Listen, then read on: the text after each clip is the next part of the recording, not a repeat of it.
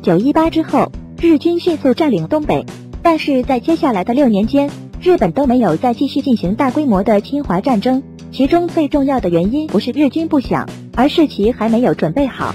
在日军的计划中，他们占领东北只是第一步，随后要以东北为腹地占领全中国。而要想达到这个目的，日军必须完成的一步就是稳住东北。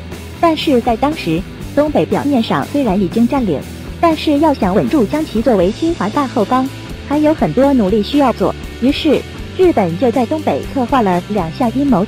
如果成功，估计东北会真正意义上沦陷。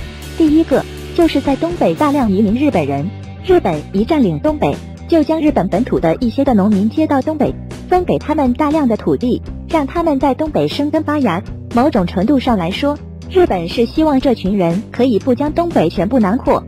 第二个阴谋就是获得东北人的文化认同。由于东北曾经是满清的巢穴，因此日军为了增加东北人的认同，就找来了溥仪。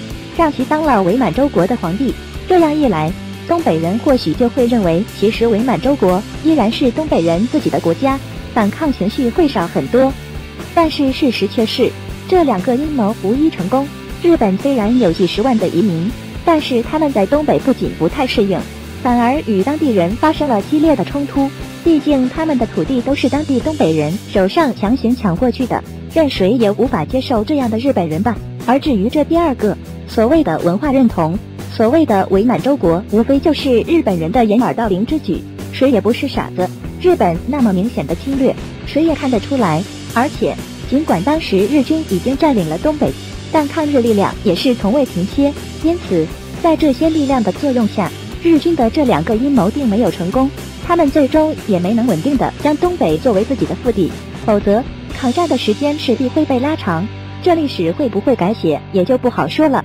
在抗日战争时期，东北的抗日力量在不断活动，始终让日军处于一个被动的状态，为拖垮日军争取了时间。